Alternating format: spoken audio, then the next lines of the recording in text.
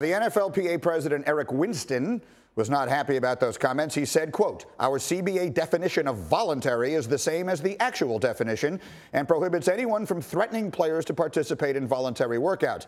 This is precisely the reason players negotiated strict work rules and bright lines when it comes to off-season activities. All right, Orlovsky, back with us. Who's right and who's wrong? I'm on Tom Coughlin's side, and I'm a little bit of an old school guy. I get that, but I always believe that we should be together. You know, I understand the difference between voluntary and mandatory. The reality is that's just there for money. You can't find me if I'm not there, but we always loved the teams that I was part of, and this didn't necessarily equate to wins and losses, but it meant something being together. It meant something in April, in May, and June being together because you know what else isn't mandatory is wins team camaraderie. That is a voluntary thing. So the great thing about it is when your stars, when your stars are your your tempo setters, when they're around all the time, that's how your organization really gets better. Because this is an organization, a team right now that's lacking some leadership. It's got some off the field troubles with one of their stars. It's lose, it lost their, their franchise quarterback, and now this will be an area that Nick Foles helps. But and everyone always points like, oh, Tom Brady doesn't go. Well,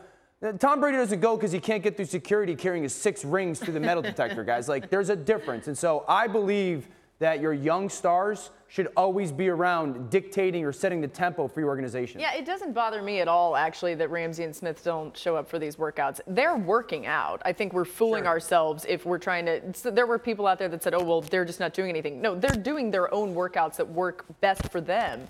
And if they don't want to be there for voluntary workouts, it's voluntary. To, to the point, it, the definition actually says voluntary. I get it why Tom Brady doesn't show up. I, I actually, I, have never been on an NFL team, obviously, huh. but I actually don't don't think that I there's anything wrong Bucs. with this. Well, I do with my outfit, but I don't want to be a pirate. Anyway, hold on. Stand by, stand by. Hold on a second. let, let me lend some some some sensibility to the proceedings here. Okay, we're talking about Jalen Ramsey. We're talking about a guy who is the first one to give his opinion on how everybody else on every other team goes about their business. And now you're just coming off the most disappointing season of any team in the NFL. I don't care what other team you want to name. No one was a bigger disappointment than the Jaguars were last year. And a huge part of it was a lack of leadership. And here's your best player and your leader not there to lead. So I understand what you're saying. Do I think he's working out? Of course he's working yeah. out. That's not. Is he a great player? Absolutely. He's a great player. But you've said many times, and so have others, just because you're the best player doesn't make you the leader.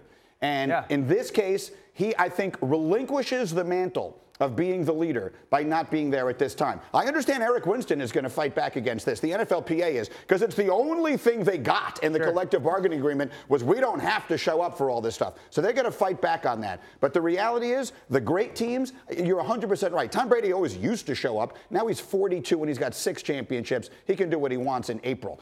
But the really great teams are together right now at times like this. I think it's a big mistake. Well, we always hear too in sports, the little things become the big things. And so, yes, this is a little thing. I'm not making a mountain out of a molehill. But when your team and your organization is in a unique spot, like we talked about the expectations last year, if you're the star, if you want to be the face or the leader, do the little things. Well, is it annoying? It's Jacksonville. I've been in worse cities in April. Yeah, Ramsey's got to show up on the field. I mean, sure. no doubt about that. But I don't think this is a big deal. All right, we'll see. Uh, as usual, there are lots of opinions, and I'm right.